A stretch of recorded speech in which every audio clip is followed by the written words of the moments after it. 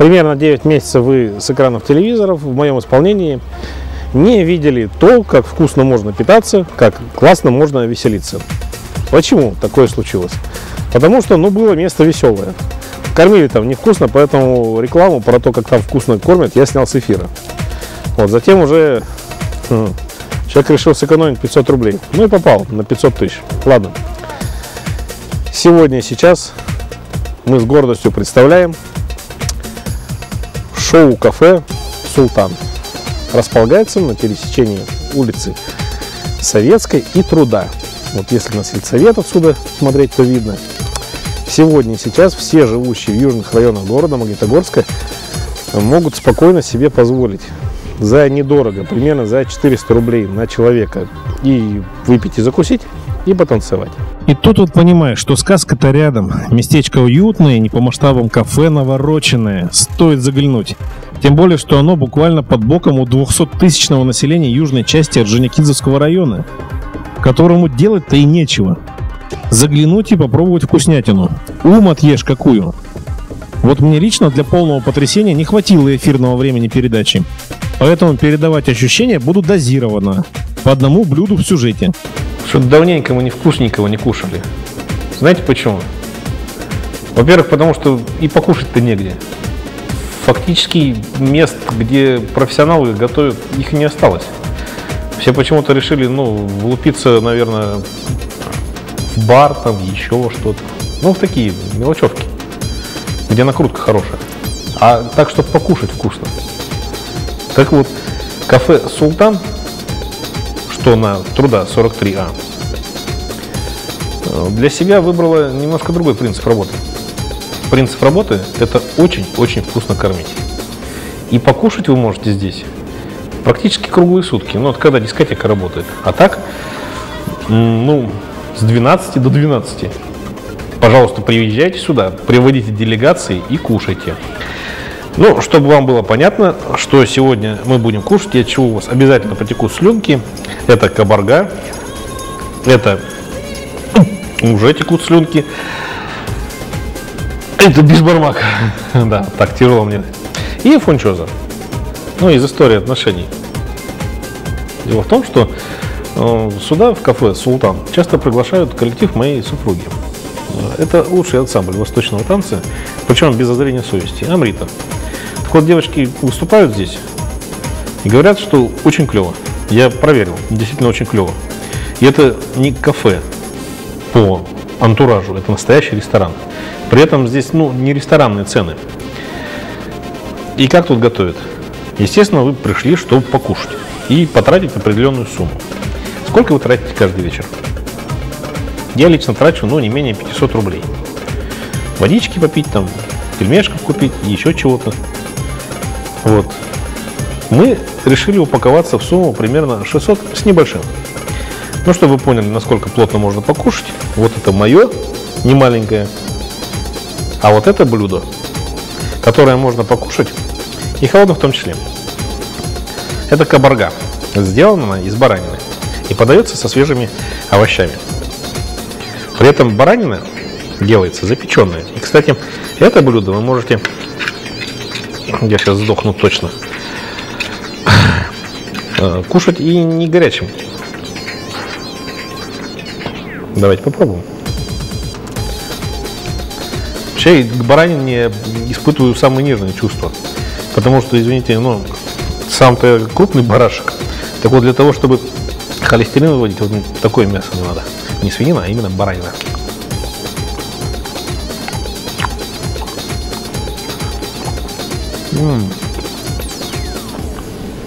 Для того, чтобы баранину приготовить, ну, талант нужен необыкновенный. Для того, чтобы баранина даже охлажденная была, вкусная, талант нужно быть вдвойне. Да. Как это все звучит? Видите? Как откусывается грудинка баранья. И как она тает во рту. М-м-м. Специи, вкусности, посолено. Слюна, видите, брызжет. М. Ах. И как раз после этого еще и перчик. Формленная запеченная баранина. Готовится примерно полтора часа. За полтора часа, кстати, вы здесь можете ну, очень хорошо время провести. Теперь э, цена этого блюда, как говорится. Теперь падайте. Полтора часа баранина. Не дешевая, но нынешняя. Блюдо там чуть-чуть дороже 200 рублей. А удовольствие? Удовольствие на 500. А теперь, а теперь будет, ну, такой простой и обычный, казалось бы, бишбармак. Ну и аллаверды, кабарге еще с овощами перед бишбармаком. Мясо баранина так подготовлено и приготовлено, что в зубах оно не застревает, кстати. Это, к слову, о тех шашлыках, которые вы часто кушаете. Теперь, ну что, по бишбармаку. Как будем кушать? Традиционно? Ну, я вам расскажу, что такое бишбармак зато. Традиционный бишбармак вот, мы ели не так часто. Наверное, раз 10 всего. Когда приезжали в Бреды, Чесму, Варну, ну, на село, в общем-то. Вот, потому что телевизоров там встречали именно бешбармаком. Вот. Телевизоров кафе Султан встречают бешбармаком. Ну, это не зря, кстати. Потому что тут вообще, ребят, без базаров и тест-драйв, как говорится, вживую. Вот. Сейчас попробую и скажу вам. Дело в том, что я сам очень люблю готовить бешбармак. Для этого я покупаю, естественно, конину. Бешбармак от кафе Султан. Это бешбармак из конины. Э, туда я добавляю еще баранину. И, и, и, ну и где-то целый день я выкидываю. Потом все это я дело съедаю примерно в течение суток.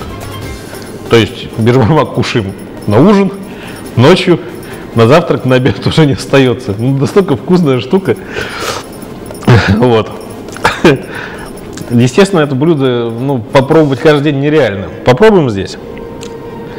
Вообще, ну, если вы приедете туда, где я вам рассказывал, без журнака будете кушать руками. Это традиционно. То есть берем сочень с луком.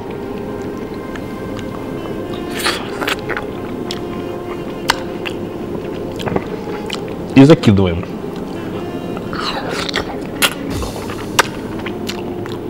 А потом закидывается кусок мяса.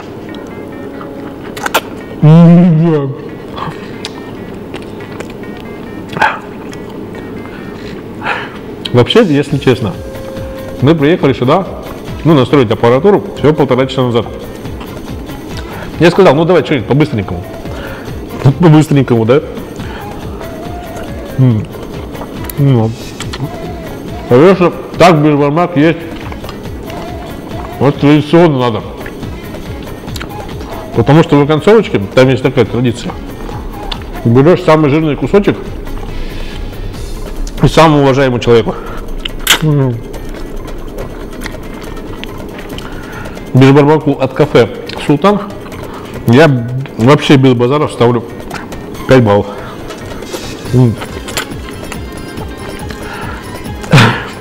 И теперь шурпа.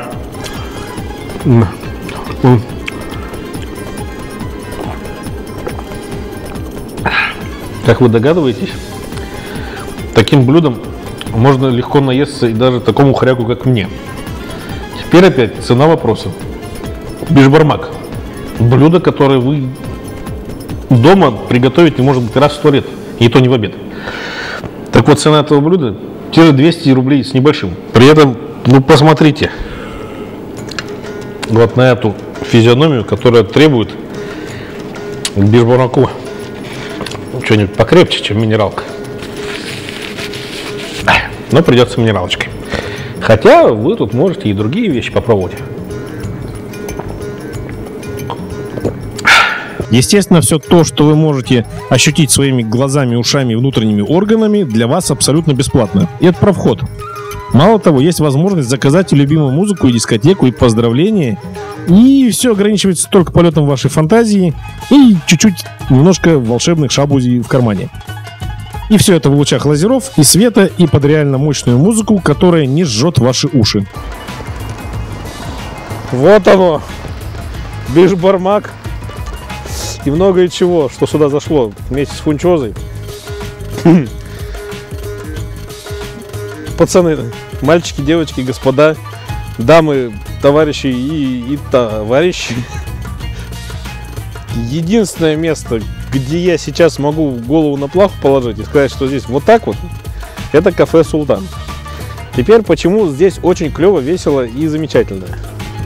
Ну, потому что, конечно, в других заведениях вы можете наткнуться и на живую музыку. Но Магнитогорск это не Самара и не Москва. Из Магнитогорска певцов, ну, качественных певцов, я знаю 0, и фиг десятых человек.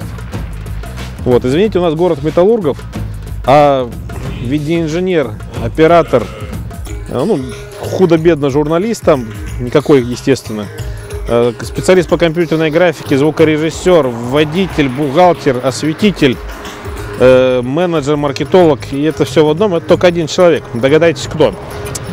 Вот. Естественно, всего бы это не случилось, если бы не было у меня большого желания показать вам, как надо отдыхать.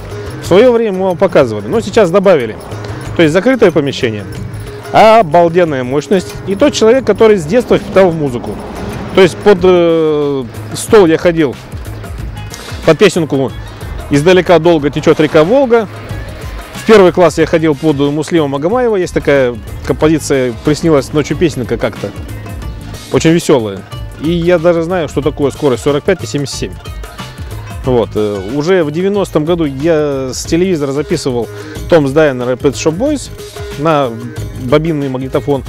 Затем уже переделывал кассетный магнитофон, ставил туда систему динамического подмагничивания. В общем, в общем, и виниловый проигрыватель у меня тоже был. И компакт-диск проигрыватель первый в том числе. И я, наверное, единственный, который до сих пор имеет коллекцию 250 аудиокассет. То есть все то, чем богаты, тем и рады. Поэтому приходите сегодня, э, да и всегда сюда.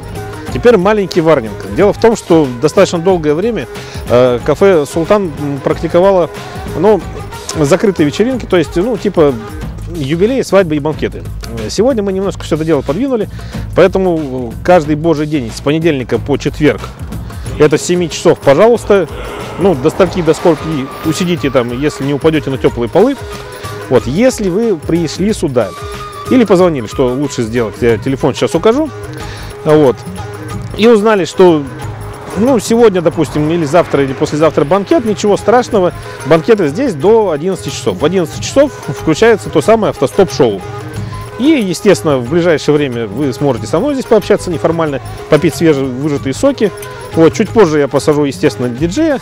Ну, а в самые ответственные моменты, ну, мы с вами так дадим, как мы с вами давали и с моим свояком на День города, на День строителей. Помните, как было весело? Так что все то же самое здесь, сегодня и сейчас, только в кафе «Султан», что на пересечении улицы Советской и Труда. Найти абсолютно просто.